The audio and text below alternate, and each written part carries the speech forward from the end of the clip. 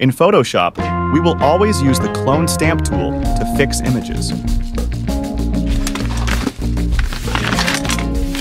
Let's understand the principle of this tool first.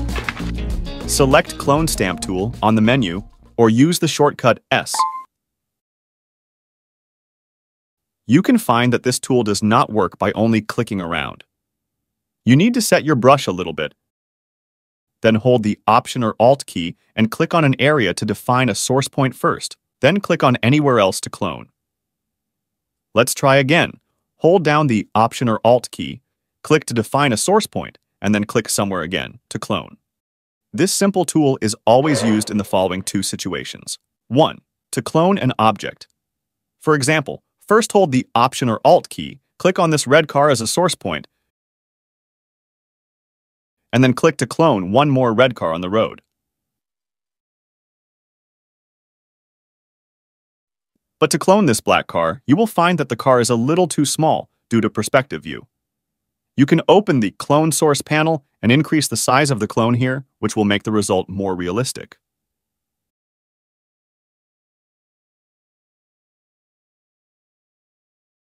Also in the clone source panel, we can select the horizontal mirroring and then use the clone stamp tool to fix the problem of this image. 2. You can also use the clone stamp tool to remove objects. Take this picture as an example if you want to remove this number 2. First hold the Option or Alt key and click the area next to it.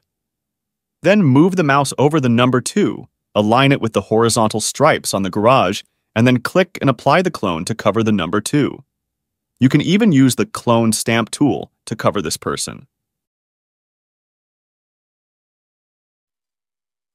Another tip here.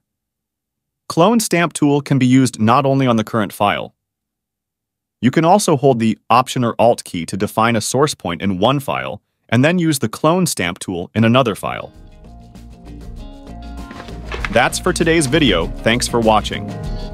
In this series of videos, we will go through everything in Photoshop in a most simple and clear way, and also try our best to answer everything in the comment to help.